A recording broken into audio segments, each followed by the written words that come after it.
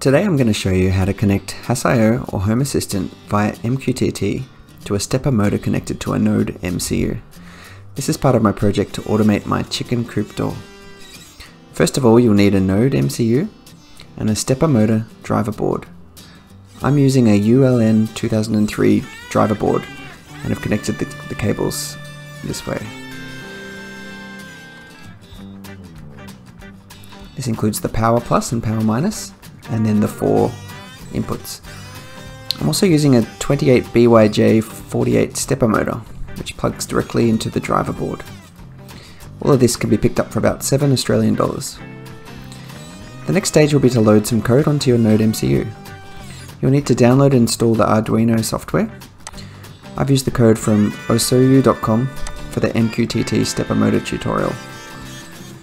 In the Arduino software, you'll need to add additional support for the Node MCU board by clicking on File, Preferences, and then typing in the ESP8266 package into the Additional Boards Manager. Next you'll need to install the board to allow additional board support for the Node MCU. Select Board Managers, and once it's loaded, search for ESP and select and install the ESP8266 board. I've already got it installed in this video. There are also two libraries that you'll need to install, the PubSub client and Stepper. These are used in this code and you'll need to install them. Click on Sketch, Include Library, Manage Libraries.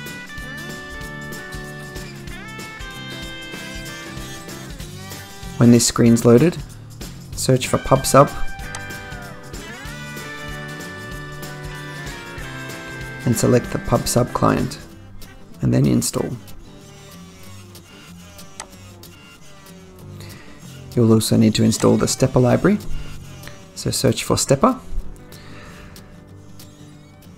locate the library and install it.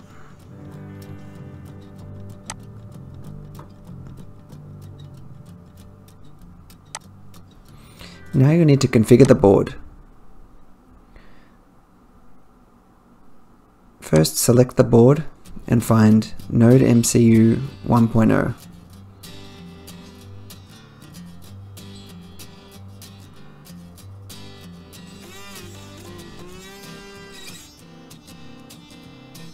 I've already selected it. So then you've got some settings which could be upload frequency, speed of 115200, CPU frequency of 80 MHz, flash size of 4M, and you shouldn't need to change any of the others, so just leave them as default. Once you've plugged in the Node MCU into your computer, select the port. In my case it's coming up as COM5.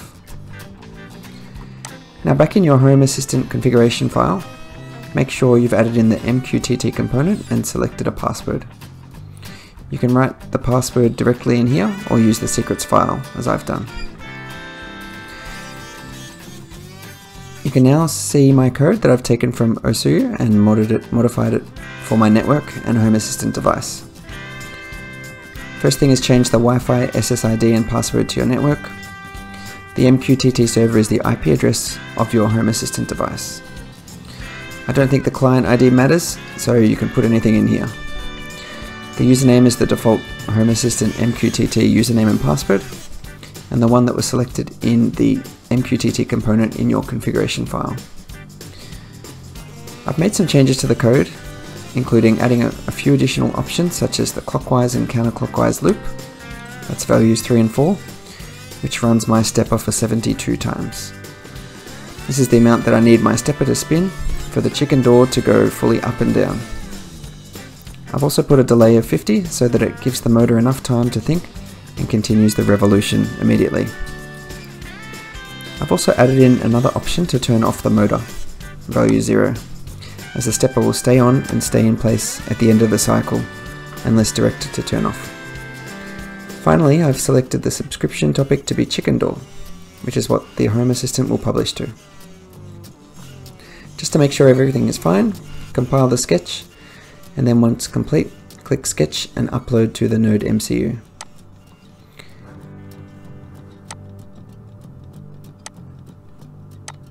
You can open up the serial monitor to see if this device is successfully connecting to the Home Assistant's MQTT.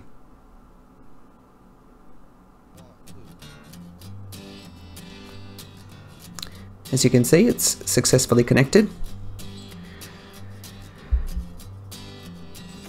And now back in Home Assistant, I've made a few scripts which publish to the chicken door topic. These all correspond to the values in the code. So 1 and 2 for incremental spins, and 3 and 4 for longer spins.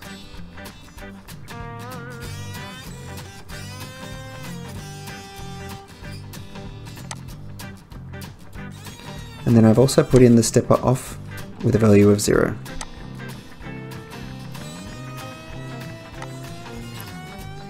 So if you go back to the code, uh, this will correspond to each of those numbers in the configuration file.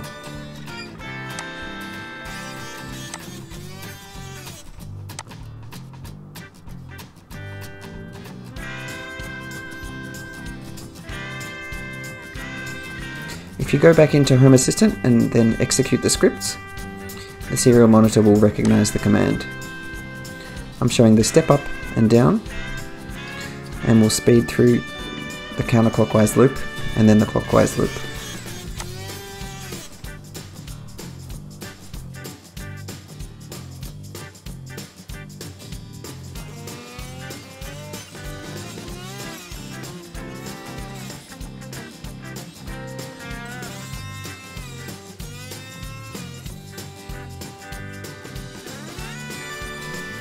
And finally the stepper off.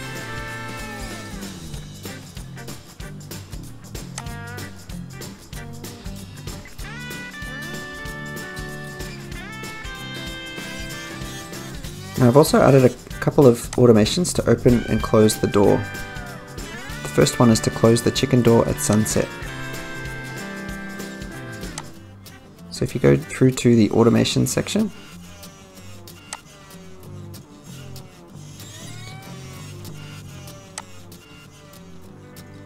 This one uses the sun trigger for when it is sunset and it will call the chicken door close anti-clockwise loop script and then turn off the stepper.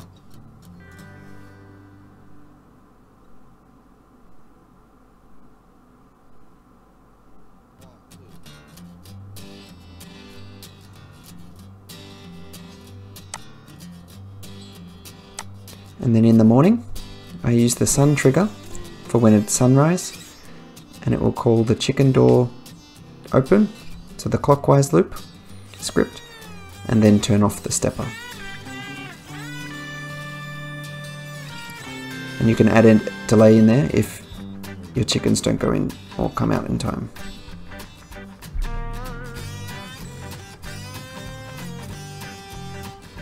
So let's see this in action and connect up to the chicken door. First connect the driver board and then connect your power.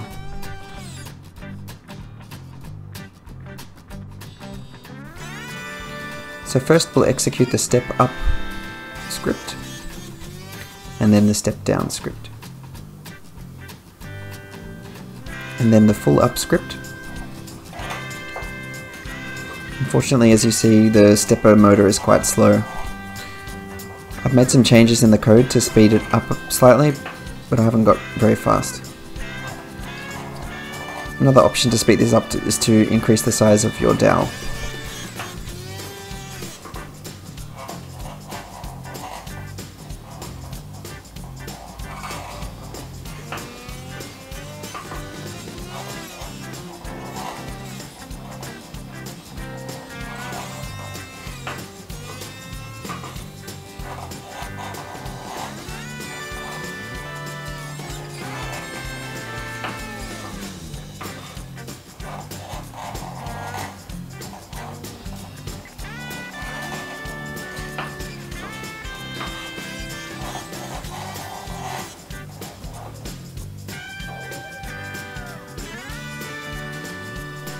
And then finally the full door down.